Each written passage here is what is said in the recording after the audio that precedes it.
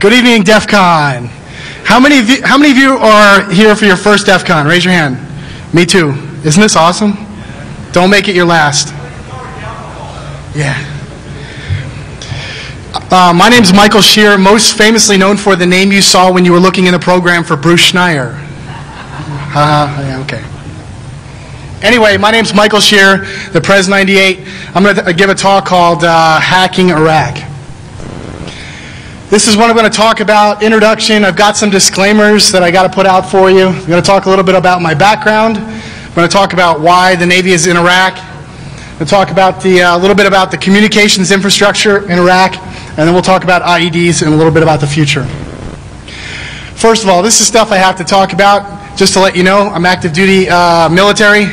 Uh, and there's some limitations on what I can say. So, uh, how many of you are active duty military, former military?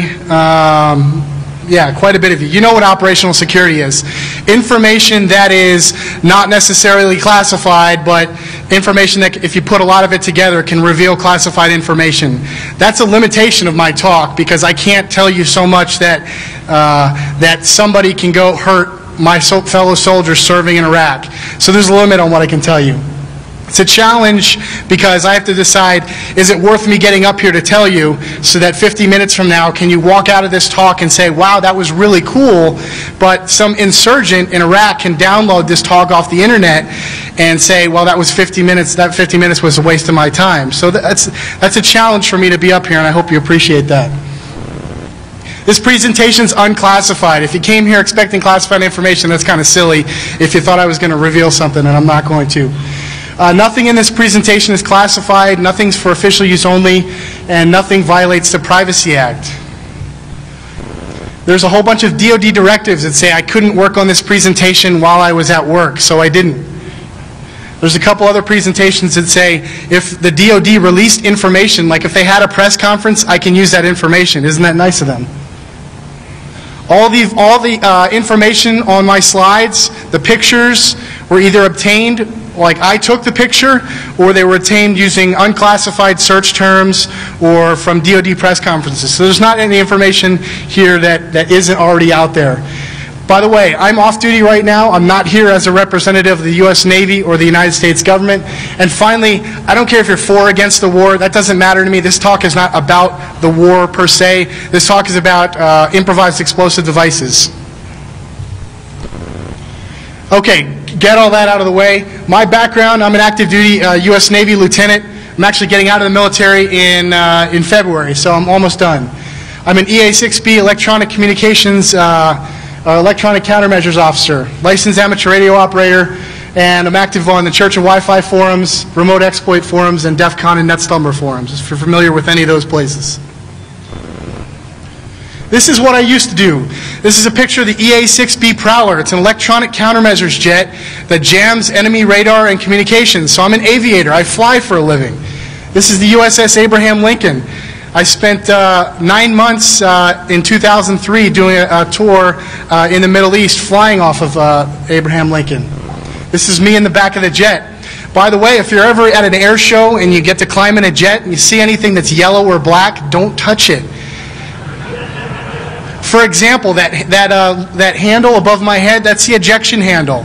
If I pull that handle out about two or three inches, I go through that canopy. No, the canopy doesn't come off. I go through the canopy.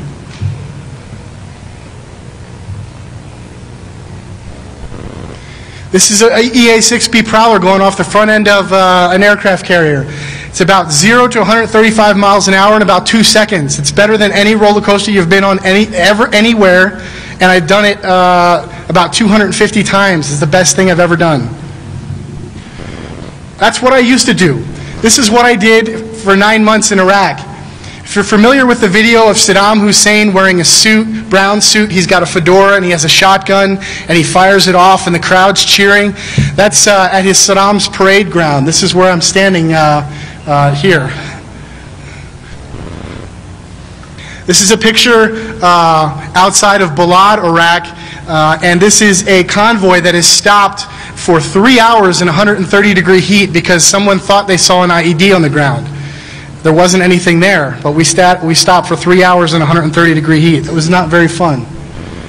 This is a picture, uh, capture of a um, improvised explosives device going off. Fortunately, I was not in ve this vehicle at the time. And I don't have a lot of videos of this stuff, but you can search all over the internet, and most of it's uh, recorded by the insurgents. Okay, I did stop by the pool at the U.S. Embassy once or twice. It's actually very nice. So why is the Navy in Iraq? I'm an aviator. Why am I standing there with an M16 wearing Army camouflage and 60 pounds of gear, including armor plates and body armor? Why? Well, first of all, is the threat from improvised explosive devices. The Army says, or the military says, that the bleeding cause of injury and death to soldiers in Iraq is improvised explosive devices. Yes, there are snipers. Yes, there are suicide bombers. But IEDs are the number one cause of casualties in Iraq. The numbers vary 65, 70, 75% of casualties are caused by IEDs. Well, what's the second part of that equation? The second part is that the Army asked for help. At the end of the Cold War, the Army basically shed their electronic warfare capability, and they just don't have that capability anymore. This is, you won't be able to read this, but this is a letter uh, written from uh, General Chiarelli, who was in Iraq at the time, to Admiral Mullen, who is the, was the CNO of the Navy, and in set, the next month will become the chairman of the Joint Chiefs of the Staff. And this is basically explaining what I said, that the Army needed the Navy to help uh, with electronic warfare. The last part of the equation is that the, the Navy already had an indigenous electronic warfare capability. People like me who are used to flying, except I didn't think my, indigenous, my electronic warfare capability was going to be deployed to Iraq for nine months. There's another pic, like uh, EA6B Prowler. It's ugly. The result is JCCS-1, and that's an acronym for Joint Crew Composite Squadron 1. How the, how the military loves the acronym. From the JCCS-1 homepage, here's the mission. Suppression of the RCIED threat. Now, RCIED, I'm going to have to explain all these acronyms to you. Radio controlled improvised explosive device to coalition forces and reduce casualties through enhanced electronic warfare coordination and J Crew operations, training and readiness. J Crew, Joint Counter RCIED Electronic Warfare. How do you like that? You know somebody got an award for writing this. So what does this mean? This means that we are using electronic warfare against IEDs. In other words, we're using RF energy to try to prevent an IED from going off. That's what you can read out of that. Before I talk about the IEDs, um, I had given a version of this talk at ShmooCon in, in March, and a lot of people asked me some questions about the internet in Iraq. So I added a good section, and I found a lot of decent information about the Iraqi communications infrastructure, because it does relate a little bit to my talk. So I want to talk about that a little bit. First of all, we'll talk about the landline network, or perhaps the lack of the landline network in Iraq. Secondly, we'll talk about cell networks. And lastly, we'll talk about uh, internet, the very short history of the internet in Iraq, and satellite-based communications.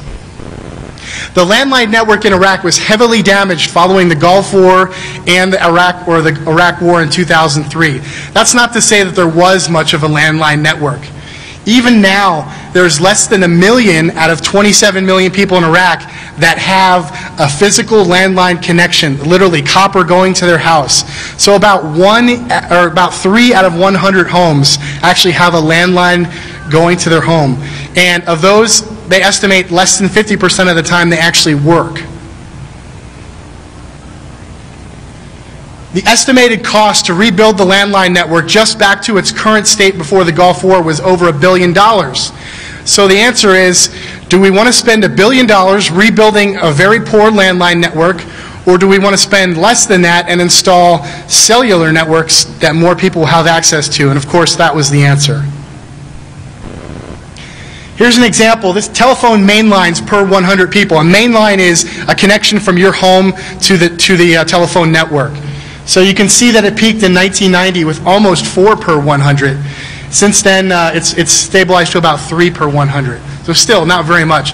Uh, to, to compare, uh, industrialized nations are typically in the 60 to 70 and above range, for, like, for example, the United States.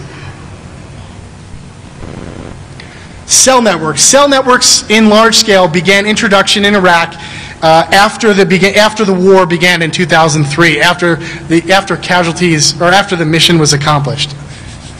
That's, I, I shouldn't have said that. I'm not criticizing the president, honestly. Um, Iraqi cell phone uh, providers, there are five or six. The first two in bold, Iraqna and AsiaCell, are the two major providers, but there are additional ones. The networks are GSM 900, and although they are installing, uh, they are, upgrading uh, probably this year and next year. By 2004, there were 1.4 million subscribers, and as of last year, over 7 million.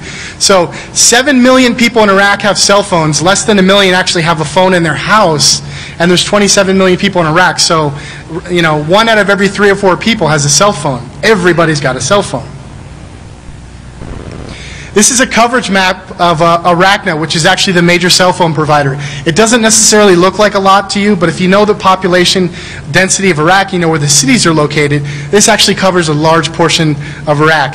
Uh, large population area in and around Baghdad, and then the, the spots in the south cover the major cities, as well as Basra down there just north of Kuwait.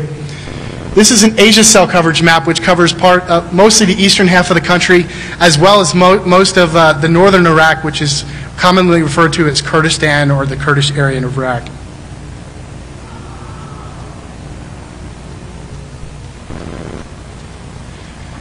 We're going to talk a little bit about the, the, the history of the internet uh, in Iraq. Prior to 1999, it's estimated that perhaps 10,000 people had dial-up access to the internet. 10,000 out of 20-some million. You can also imagine that most of these people are either Baathists, which were Saddam Hussein's party, loyalists, or the very wealthy. So we're talking about very small percentage of the people having dial-up access, so out of the very few people that actually have uh, telephones, and of course, that internet was heavily censored so that these people couldn't access anything outside of, you know, what or whatever Iraq thought, whatever Saddam Hussein thought was appropriate. Between uh, 1999 and 2003, there was a bit of liberal, liberalization in the internet policy. Uh, perhaps 75 internet cafes operating throughout Baghdad and Iraq, perhaps 25,000 users and again, heavily censored so that these people couldn't really get anything outside of what, of what the Ba'athist Party wanted them to see. Since the war began, now over 100,000 users, estimated 500% uh, increase in users over the next five years. You can see the graph here. It's going to be explosive as, as the landline network starts to rebuild. Uh, also, a lot of that internet is satellite based, which is if you see a home in Iraq, it's, very, it's generally made of, of, of dirt. They have maybe one or two rooms. They may or may not have electricity. Well, they probably have electricity for their satellite dish. Everyone in Iraq has a satellite dish. Link is the uh, primary provider of internet in Iraq. It, it, it was originally part of the Ministry of Information, so it's, it's kind of a pseudo-state entity uh, but there are other providers, and there's a lot of private companies that do provide satellite access to Iraq, and that is where most of the access is coming from. For that's where the where you'd get broadband really if you wanted uh, access in Iraq. Provided primarily by Middle Eastern and uh, European companies. Very interesting. Every, almost every country in the world has their own domain except Iraq. .iq domain was owned by a company called Infocom, run by a gentleman in Texas, until, until 2005. So Iraq had no home on the internet. By 2005, this domain, the gentleman in Texas, I won't go into the backstory, but he had some problems with the law, and uh, the domain was finally assigned to Iraq. However, there's perhaps 500 sites on the internet. If you do a Google search for site.iq, you see perhaps 500 sites on the internet that actually are under the, the IQ domain. And in fact, most government sites in Iraq are still using .com, .org, .net sites that, or, you know, just generic sites like that. Very few, perhaps one or two ministries in the Iraqi government are actually using the .iq domain. There's also uh, a smattering of uh, satellite-based communications for both internet and uh, telephone, uh, Iridium, Thuraya, Intersputnik, I wonder who that is, Intelsat. Gives you an idea of what's available. Uh, so there is pretty good coverage in, in, in all of the Middle East for satellite-based communications.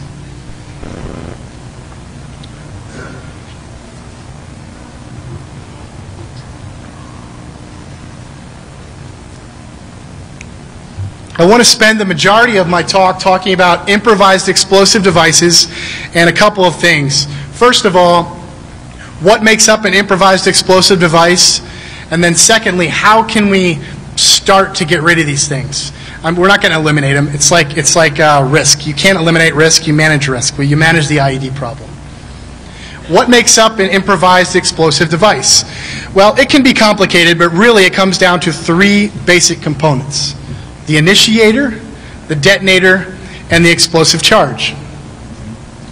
The initiator is a device, well, let me go back into the initiators. There are four, ty- four basic types of initiators. There's the command wire. This is the Wile E. Coyote wire that goes from the device all the way winds to the to Wile E. Coyote, holding the pushing the button or pressing the plunger down, sending the signal through the wire to the bomb to go off. That's a command wire. The second type is victim operated. Victim operated is a booby trap, perhaps a pressure wire or a trip wire. In other words, something that the victim, the intended person who, who the device is intended for, is actually tripping some sort of signal or physical device to set off. A mine is a victim operated device. Third would be vehicle borne. Vehicle borne is either a suicide bomber or perhaps just a car bomb that maybe perhaps no one is actually driving, but a car bomb. So a suicide or uh, what's referred to as a VBIED. The last area is was really my focus, and that's radio-controlled uh, uh, IED. In other words, someone's pressing a button on some device or sending some sort of signal through our uh, radio free frequency signal to another device, and that is actually setting off the IED. Radio controlled initiators, the most common, the one you press the key fob that you open your car with. Very popular use uh, for IEDs early on in Iraq. Not a lot of distance on that thing, though. When they realize they had to stand 50 feet or less from the road and they know you're looking for them, maybe they want a little bit more distance. Motorola, walkabout, talkabout radios, FRS, all over the place. Long range cordless telephones, not very prevalent in the United States because of power restrictions set by the FCC. Very similar to the cordless telephone you have in your house, but imagine if you could, imagine if it was good for 20, 30, or 40 kilometers. They're all over Iraq and, uh, and Europe.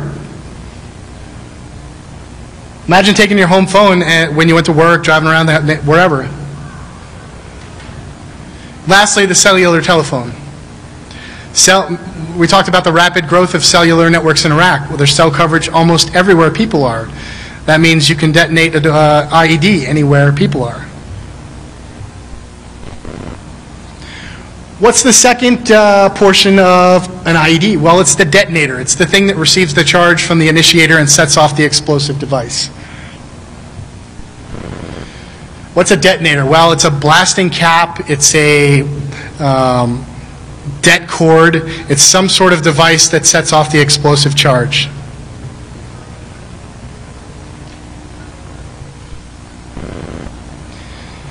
And the third portion of the IED is the explosive charge. This is the thing that goes boom.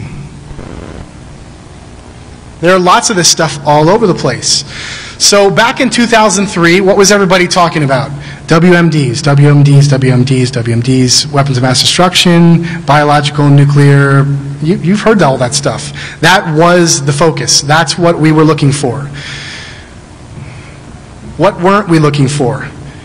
The tons and tons and tons and tons and tons times infinity of conventional weapons all over the place in Iraq. Artillery shells, mortar shells, landmines, unexploded ordnance that we dropped and didn't go off. All of this stuff is all over Iraq. We found some of it. We found perhaps a lot of it, but there's still a lot of it left.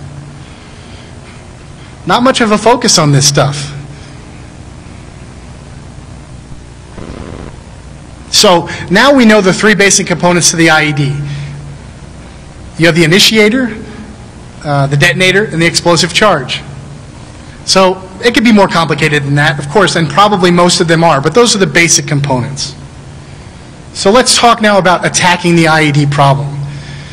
And if you think about this, it's like I said earlier, it's like risk. You can't eliminate risk, you can only manage it. I'm a penetration tester, by the way. I'm a penetration tester of enemy air defenses. Think about that one.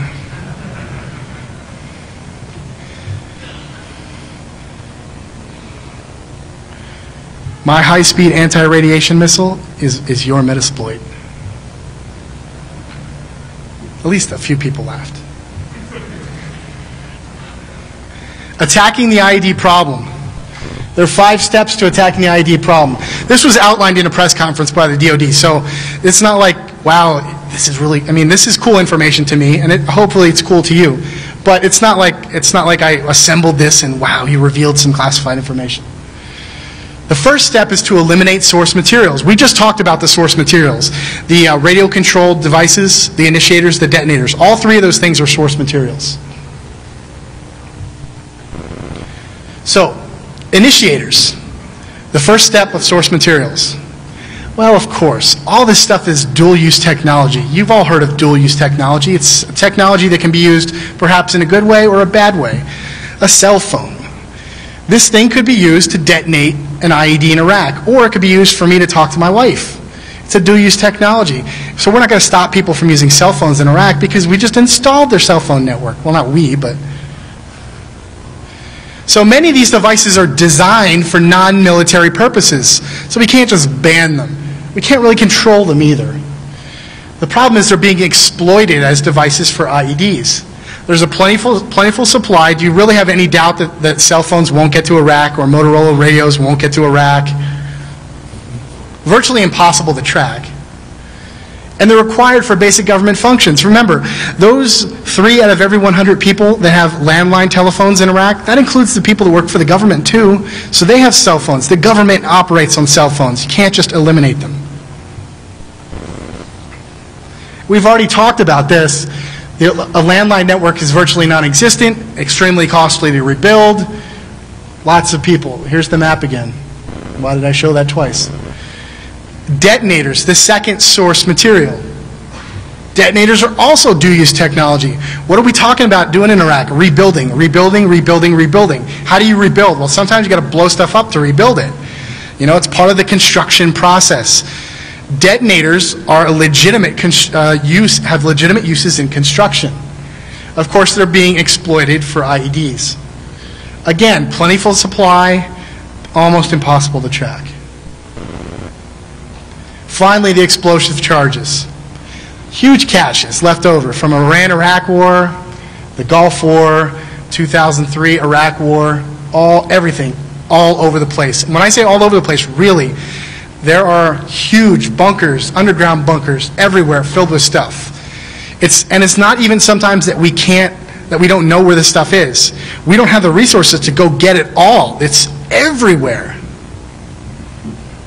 Again, the focus was on major conventional weapons, Scud missiles, WMDs, all that sort of stuff, and the conventional ordnance was kind of left over.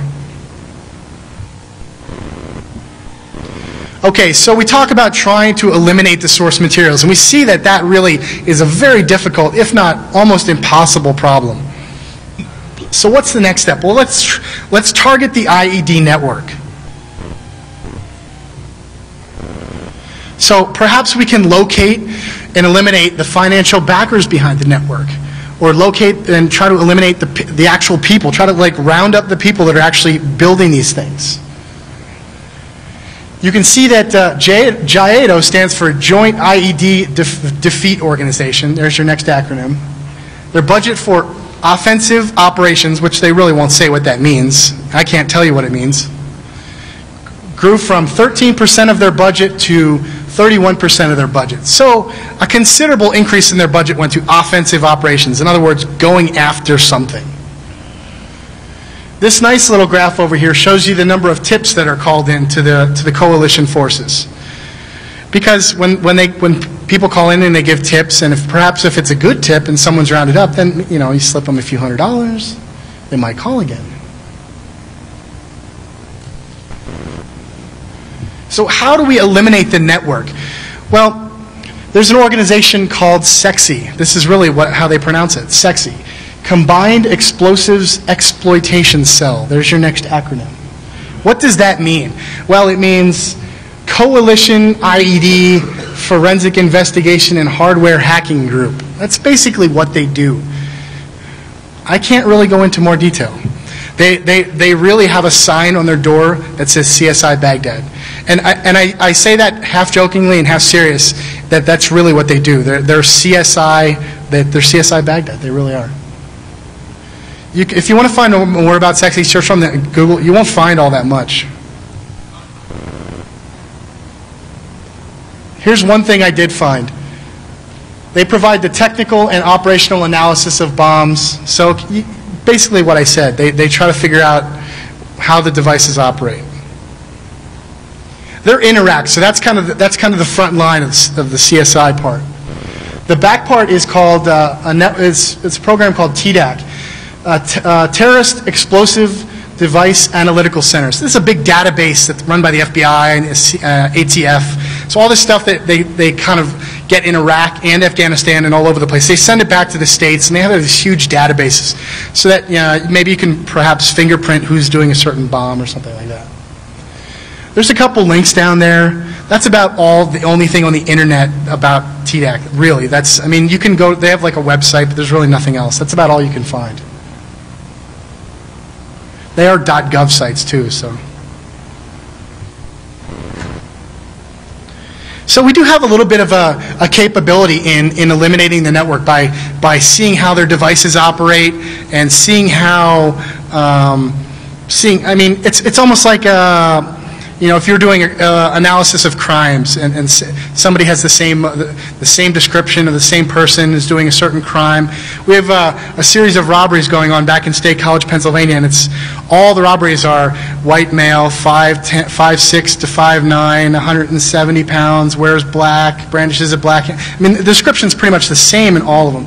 And so you can almost do that sort of thing in with uh, a bomb.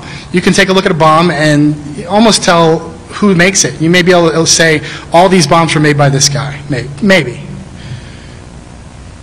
So we do have a bit of a capability there. Third step is eliminate the bomb in placer. This is the guy who actually goes out, takes the bomb, puts it on the road, maybe digs a hole or you know whatever he wants to do. He, so he emplaces the IED at the target location. He may or may not be part of the network. He may be um, he may be part of the group, and his job is to put them out there, or they may, you know, come into your house, point a gun at your head, and say, "You will go put this out on the road, and here's twenty dollars or fifty dollars, and thank you very much for your help." So he may or may not be sympathetic to uh, the insurgents. He may, they may be people who are sympathetic to the, to the uh, coalition forces. You can't really say. But perhaps we can eliminate the person who's actually placing the bomb there. Let me go back. This person may or may not actually arm the device. They may have someone else come about, some by later and arm the device. So one guy puts it out there, another guy comes and arms it. They may be involved in videotaping the operation. Most of the IED videos you see on the internet where they play the Haji music is, is actually uh, or, or filmed by the insurgents. They love videotaping. There's almost always somebody videotaping. So how do you eliminate the bomb in placers? Well, we get, you get tips, community pressure, and money. If, you know, if they pay $50 for them to emplace it, then we'll pay them $100 not to emplace it. you know, sometimes money talks. So, let's say we've gotten to this point and we were, we've been unsuccessful in eliminating the source materials. We can't figure out who's behind the bomb.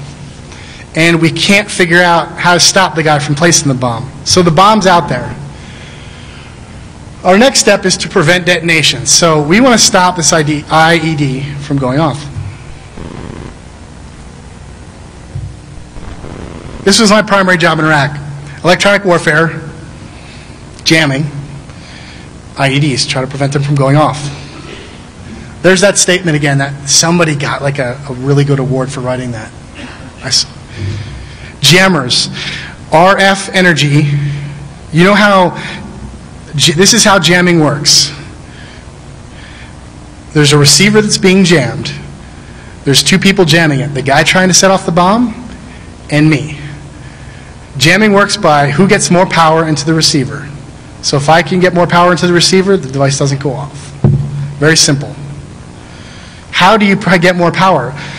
How do you get more power into the receiver? Well, perhaps you have more power, or you're closer. Those are the two primary things. There's lots of jammers airborne, vehicle mounted, dismounted. Different models, different manufacturers, different capabilities. That's all I have to say about that. I can't go into any more detail. Honestly, um, I don't want to, and that's because if I reveal capabilities of the, of the, uh, that we have, then they can adapt their tactics to perhaps harm people that I know who are still in Iraq right now. So I'm not going to tell you. I hope you can appreciate that too.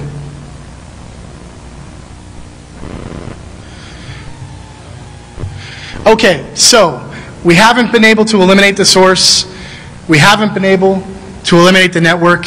We haven't been able to eliminate the bomb being in place, and we couldn't prevent it from going off. So this IED is going to go off.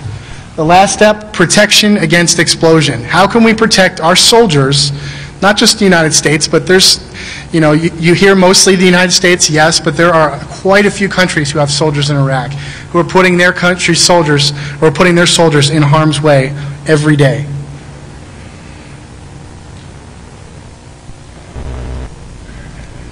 Armor protection. It's not just about more. The easy answer is, well, let's just put more armor on the Humvee.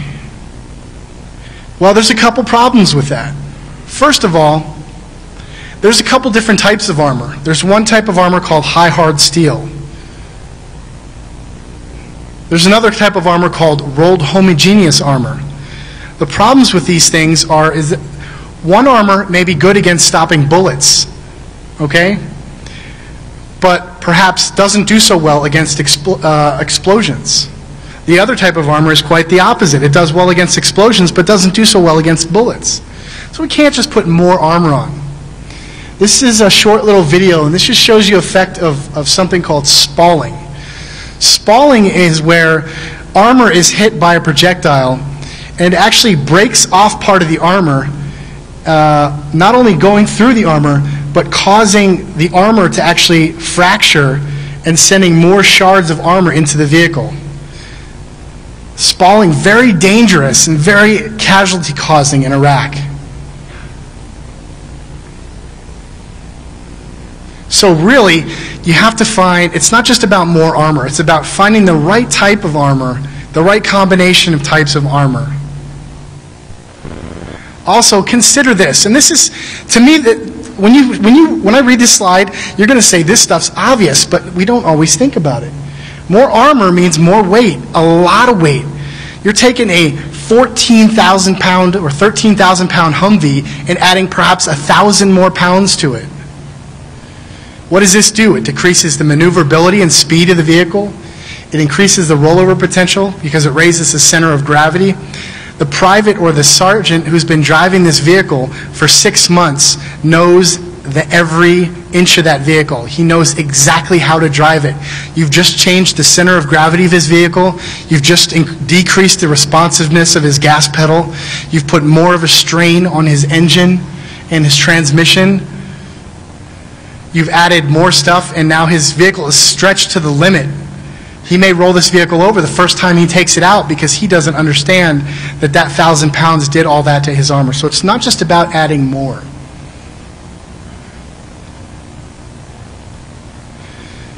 The second, point, the second point about uh, protection against explosion is the underbody versus the sides of the vehicle. As in, as in every mythical sense, the underbody of a vehicle is always the most vulnerable portion, and it's often the most or the least protected portion of the vehicle. It's great to have stuff on the sides, but what happens when that when that uh, IED blows up right underneath the tire or right underneath the engine block? You'll see really in the next year that the U.S. military is going to uh, V-shaped hulls. When we say V-shaped, like literally looks kind of looks like the bottom of a boat. And the idea of this is instead of the explosion going up into the vehicle to direct it outward to protect, basically giving a better um, underbody protection to soldiers. This, is, this will probably be uh, the biggest lifesaver of troops in Iraq.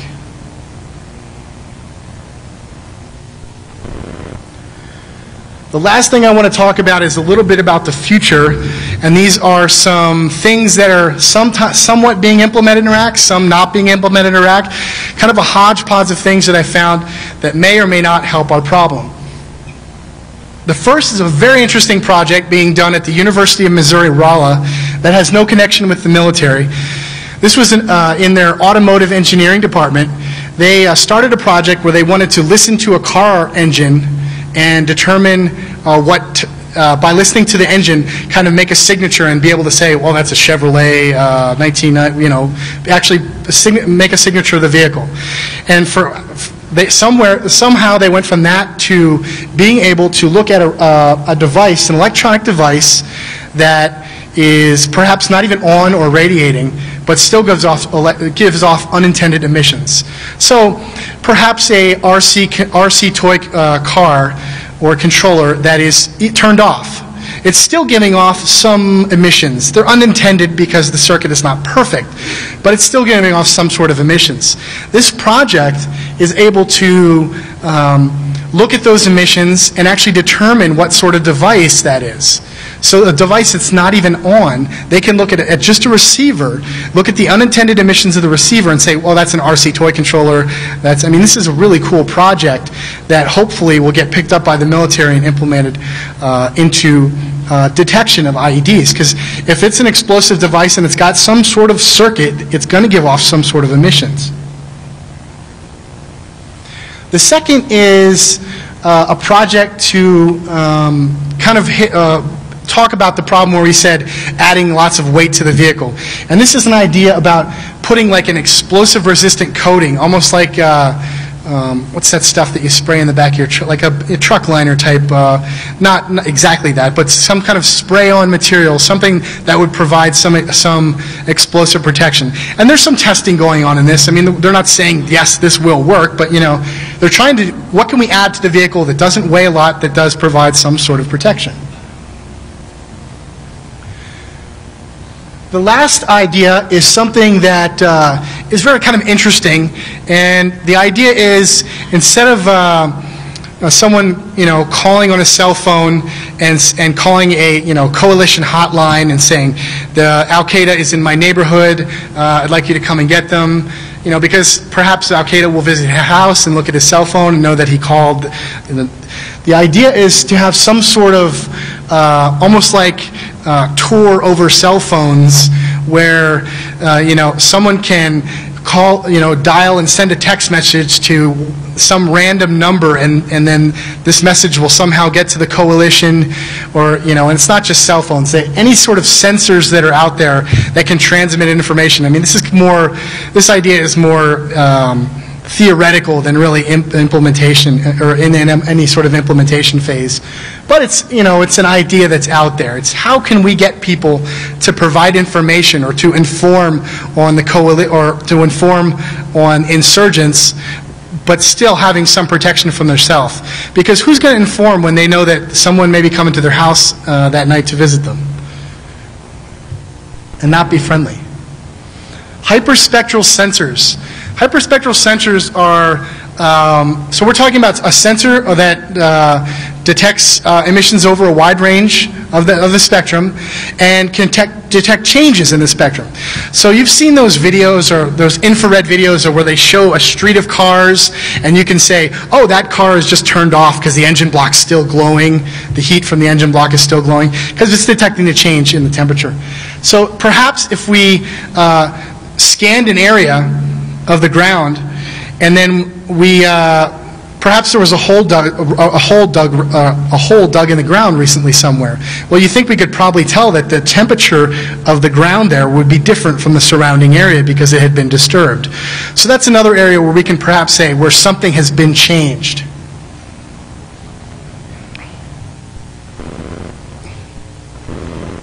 Go to this last thing.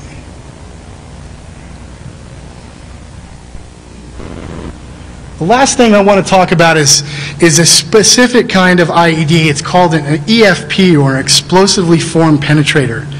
This is a very dangerous device.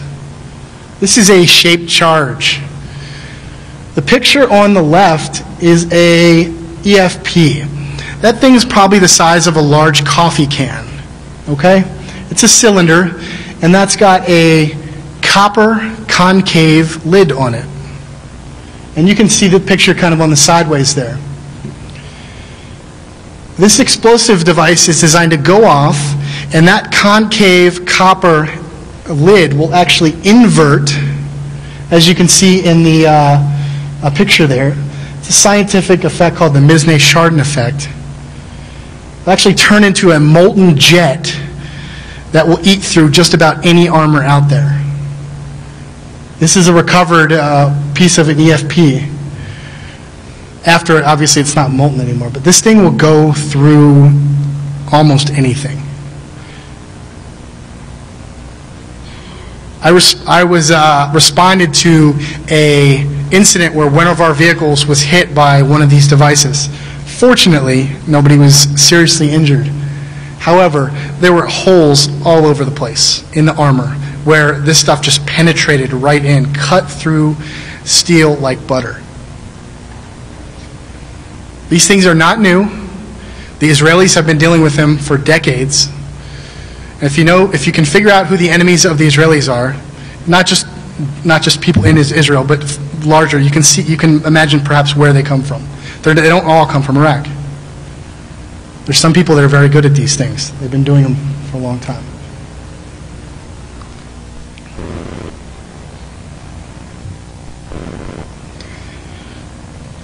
I'll leave a few minutes for questions here, and then I will go over. There's a room down the main hallway. I think it's 110 or one of those rooms in the main hallway.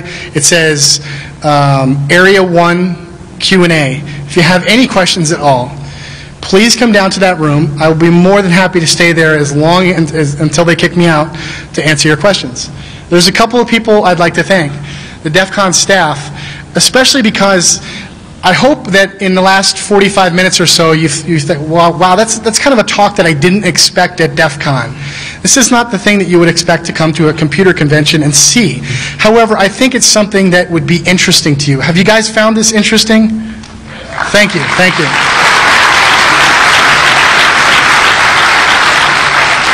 Thank you. I'm part of an organization called the Church of Wi-Fi. Uh, we're running the Wireless Village up in Skybox 209. I've seen a lot of you up there. The, the room has been packed all weekend, and because of that, it's, we're likely to have the same opportunity at DEF CON next year. We're going to be operating tomorrow, probably from 11 or so until the closing ceremonies. So please, stop by the Wireless Village. We'll have uh, an RFID locating contest tomorrow and a breakout session. So if you don't even know anything about RFID, and you want to learn, uh, our, one of our members, Thorn, who's up here in the front, will be giving that session tomorrow. We even have some of the materials you need, so you can show up with nothing and you can make something. It'll be really cool. My family, my wife is back uh, in Pennsylvania. I've got a seven and a half month old who my wife is sending me pictures of the other, uh, last night, uh, running around in her walker. And so my wife is at home taking care of the kids and allowing me to be here. I talked about the Wireless Village and the contest. Thank you all for coming to the talk. Like I said, this is my first DEF CON 2. DEF CON is what you make of it. So hopefully some of you, if you have ideas, get up here and talk. I mean, this is my first DEF CON. I didn't expect to be sitting in Area 1, the biggest room in all of DEF CON, practically full. I mean, for, thank you.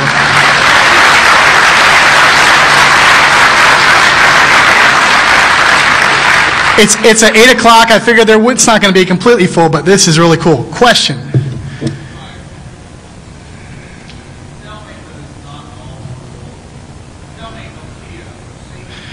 Oh, it's, it, the question is, it's not all, are you saying, are all the cell phones Motorola? Did I really say Motorola five times? Did I really say Motorola five times? There's cell phones, um, all the cell phones are the, all sorts of cell phones.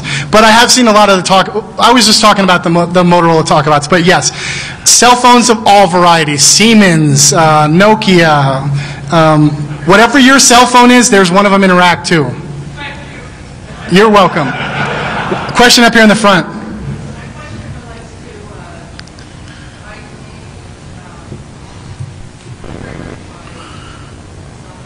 Yes.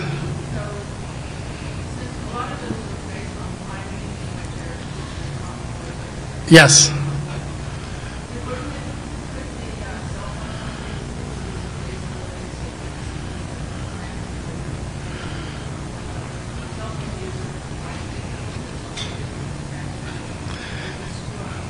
It could be possible, but now you're assuming that the cell phone company has advanced knowledge that a call is going to be made in it, with all calls.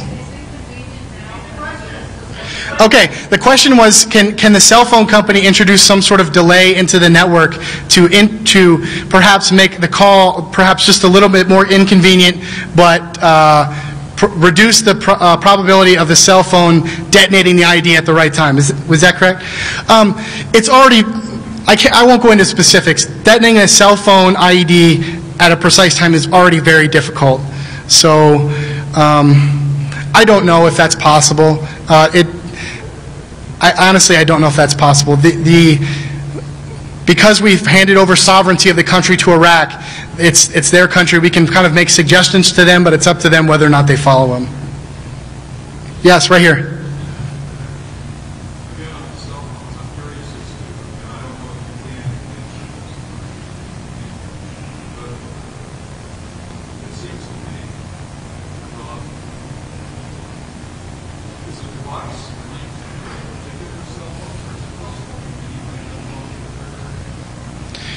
Um, the question was, is the device linked to a particular cell phone or any random cell phone? Generally, they're going to call a specific cell phone and perhaps have some sort of code to set it off. Does that make sense? So yes, they're going to a specific phone. Does that answer your question?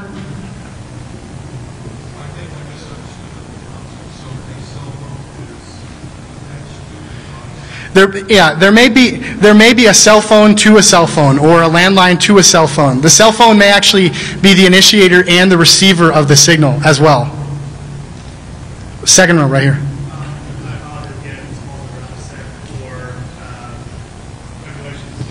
Sure.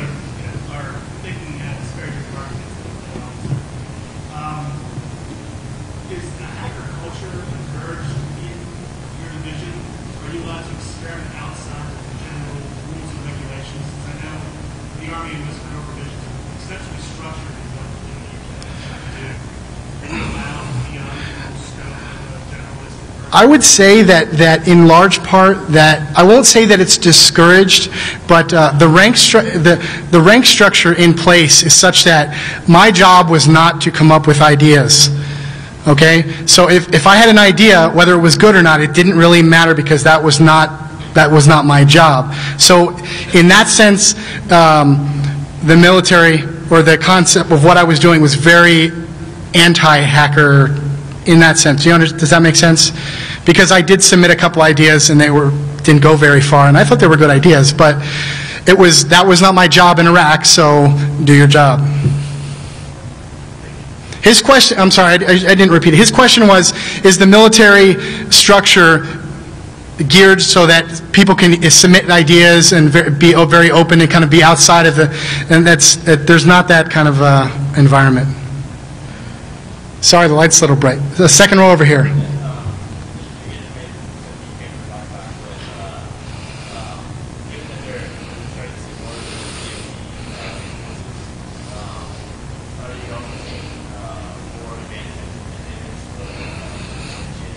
in general, um, his question is, uh, are we seeing more advanced uh, techniques, detonators, devices from the enemy?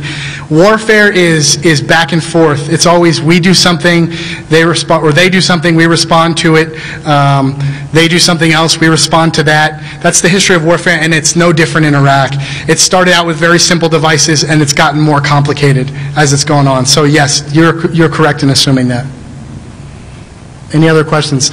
Like I said, if you have other questions that you haven't asked here, I will go to, I'm not sure what room it is. It's the first room on the left in the main hallway when you go towards the registration desk. I'll be there until they kick me out. Thank you for coming tonight. Enjoy the rest of your DEF CON.